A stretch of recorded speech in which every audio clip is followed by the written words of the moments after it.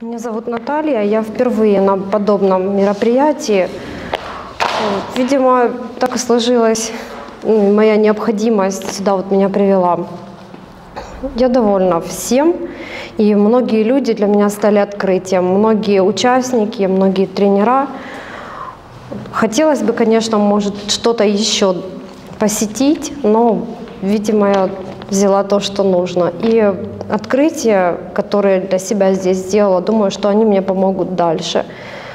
Из тренеров могу выделить Голицу, поскольку он харизматичный человек, пусть и своеобразный, но он очень классный, и то, что он несет людям, действительно полезно.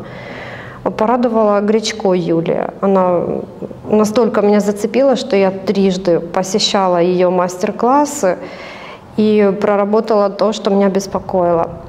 Также очень порадовало то, что помимо тренеров, которые занимаются эзотерикой, другими энергетическими практиками, психологии, есть еще и арт-тренера, которые как-то вот вносят свои яркие краски в эту систему. Например, цветы из лент или Мэнди, также проработка актерских талантов, риторика. Эти вещи также полезны, они закрепляют тот образ, с которым мы отсюда уходим. Касательно себя могу сказать, что я пришла сюда, чтобы перестать бояться людей, поэтому я пошла в волонтеры, чтобы вспомнить, что такое работа с людьми, поскольку моя работа сейчас связана с компьютером, я отвыкла от общения. И в результате я имею новых друзей, новые знакомства и новые ощущения того, что можно доверять людям и можно идти дальше, развиваться и познавать каждый день что-то новое. Даже приведу такой пример. Сейчас, вот почему я тут тусовалась, я рассказывала кусочек своей биографии, когда проходила практику в отеле. Я попробовала быть и горничной, официанткой, администратором. И на словах это отложилось в моем опыте, но после вот этих всех проработок я поняла, что только делом можно подкрепить вот эти все вещи. И взяв веник, начав убирать вместе с остальными девушками, подтвердив свои слова делом, я поняла, что это все прошло не зря. И это, конечно, не единственный пример, я взяла самое простое. В общем, я думаю, что отголоски фестиваля будут просыпаться во мне еще очень долго. Я благодарна каждому участнику здесь за весь опыт.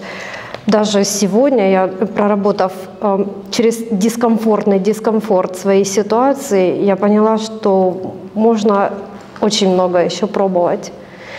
Спасибо всем. Надеюсь, до новых встреч. А где ты сегодня была?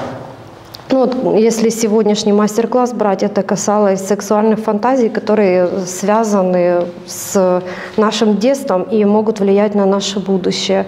Я находилась там вот с 9 с чем-то и почти до трех часов мы работали. Кто тренер? А, Так, сейчас пустовая, Екатерина Олеговна пустовая. Она нашла подход к нам, пыталась нас как-то вот раскрыть. И почему дискомфортный дискомфорт, я сказала, потому что а, через вот такие вещи, конечно, не расскажешь первому встречному, но я решила это сделать, но э, как бы среди участников были люди, которым я вряд ли бы доверяла в обычной жизни. И сначала я сделала себе зону комфорта, выбрав двух людей, которые меня зацепили, которым мне показалось, я могу доверять. И с ними было все мило, слаженно. А потом, решив продолжить участвовать в этом мастер-классе, я уже раскрывалась перед оставшимися людьми, в том числе их было два человека, которые ну, в обычной жизни могли бы меня задавить своей силой, своей выносливостью. Но раскрывшись перед ними, я раскрыла и их с тех сторон, которые в нас перекликались. Я поняла, что даже человек, который меня может пугать в обычной жизни, даже он может при определенных условиях стать на мою сторону. Мне это очень зацепило. И еще порадовали группы, которые выступали здесь. Хоть я в связи со своим волонтерством, в связи с тем, что для меня было приоритетнее посещать мастер-классы, видела далеко не все выступления людей, но это было приятно послушать вживую. Я раньше не особо любила посещать что-то такое. Мне проще послушать музыку в наушниках. Но теперь я поняла весь кайф до конца. Несмотря на то, что мне близки металл-концерты. Также, что еще можно сказать? Конечно, раскрытие людей. Мне понравилось, что в процессе работы волонтерами мы а, не только менялись внутренне, но и делились с этими изменениями друг с дружкой. Я нашла здесь людей, с которыми я хочу продолжать общение дальше. Возможно, я сейчас еще немного боюсь этого, но как бы таки еще жив вот этот механизм дружбы. А, мне захотелось что-то, может быть, в следующий раз новое привнести с собой. Возможно, какое-то творчество, возможно, это будет новое хобби. Если я попаду снова на фестиваль, то я думаю, что я и хочу, и, наверное, и буду уже другой личностью, которая с чем-то справится, через что-то перешагнет. Конечно, еще многое хотелось бы посетить, жаль, что я ну, что-то предпочла чему-то, потому что обычно днем было много мероприятий интересных, утро и вечер как-то их было, ну, они были интересны, естественно, но их было меньше, меньше был выбор. Ну, днем, конечно, что же делать, куда? А вот.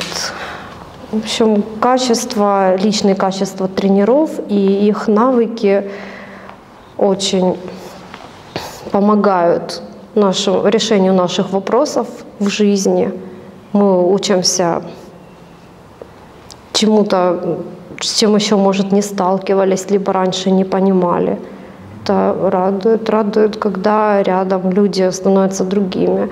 И мне кажется, что Давале — это как такой вот солнышко, а мы понесем каждый свой лучик в свою среду общения — и как-то будем зажигать людей дальше. Мы не будем жить какой-то обыденностью от зарплаты до зарплаты, какой-то лжестабильности. Мы будем а, надеюсь, что мы сохраним вот эту искру, как вчера факела. Кстати, насчет факелов чуть не забыла сказать, что у меня был страх. А, вообще, ну, фаер-шоу для меня было что-то вообще вот это не мое, это я этого не понимаю, потому что не моя стихия, может, это связано с гороскопом. Но вчера я решила, что вот по максимуму подчерпну из этого урока. Мне завязали нам глаза, я почувствовала, что кто-то может доверять мне. У меня был еще сильный контроль, я держала девушку, которая держала за меня, еще вот так, поверх ее руки, не знаю зачем параллельно рассказывая какие-то веселые истории людям в этом ряду. Дальше, когда мы уже дошли, мне уже было не страшно. Я шла по этой аллее, мне просто было интересно, что будет дальше. И а, шла, куда меня поведет мое сознание, моя энергетика. Уже по-другому я смотрю на то, что, чему я уделяла внимание обычно больше, чем кто-то из моего окружения. Сейчас я смотрю, что именно эти мои отличия и дадут мне дальше толчок. Я рада своим росту вот этих своих отличий от других. Возможно, у меня поменяется теперь круг общения, я пойду за ними дальше. И в конце, когда уже времени оставалось немного, я хотела выехать, потому что мне нужно выезжать домой каждый день, к сожалению, но надо было. Я хотела, чтобы как можно больше за это время произошло, чтобы я ничего не пропустила. И в этот момент я увидела на факеле зеленый огонь. Вот хоть это и детская какая-то глупость, но именно это поставило такую вот не точку, но запятую в этом вечере, где важно было обратить внимание. Ведь даже если за день увидишь какой-то необычный цветок или встретишь необычного человека, одно это событие может этот день выделить ярким цветом жизни. Вот этот зеленый огонь, это было то, что я до этого видела только на картинках или в каких-то программах. но это есть, это удивительно, и пусть это по-детски, но такая была у меня радость. А еще такой веселый случай. Мне понравились пряники, которые продает женщина из сладкой лавки. Они дешевые и очень-очень вкусные. Ну да, кусочек рекламы. Я нагребла очень много таких сладостей, чтобы порадовать свою подругу и свою семью, ну, как бы и, в общем, близких. И приберегла для подруги имбирный пряник. Берегла его от всех. И прихожу домой, это пряник Нади, отдайте мне, спрятала его себе в постель. А утром я понимаю, что пряника нет, и я поняла, что я его съела. Ночью? Да, ночью.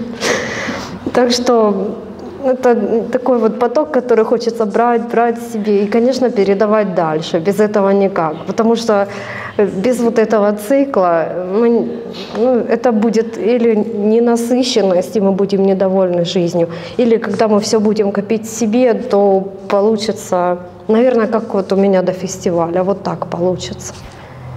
И сегодня, в завершение всего, скажу, что я сегодня действовала по своим желаниям.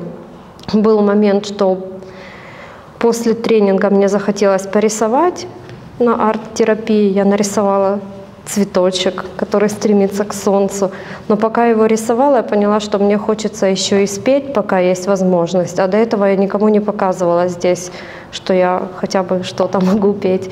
Я сорвалась от этого цветочка на вокал, потом опять к цветочку, потом еще куда-то. Всего понемножку. Поняла, что любой человек может проявляться по-разному. И пусть мы не будем экспертами во всем, но мы можем быть совершенно разными. Это поможет нам э, балансировать внутри себя, сохранять какую-то гармонию, да, и быть счастливыми. Даже вот с самим собой, ведь с этого все и начинается. Спасибо.